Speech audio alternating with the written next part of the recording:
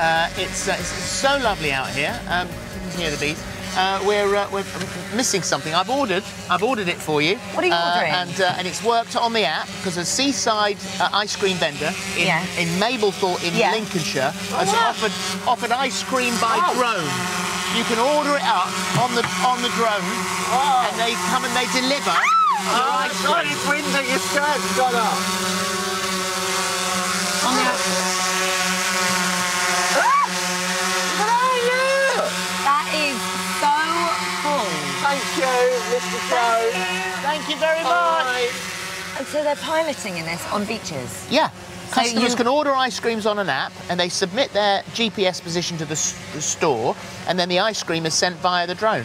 Michael, who's operating the drone, um, uh, it's, it's worth four grand, fitted with three GPS sensors and ca- carry the equivalent of 10 Mr. Whippies. Sorry, have you just eaten the end off that first? No, it just fell off. The oh, best I thought bit you fell were one off. of those weirdos that eats the No. bottom of it.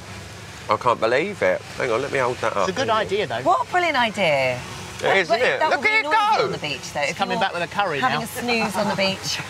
Got a couple of tequilas as well. Having a lovely time.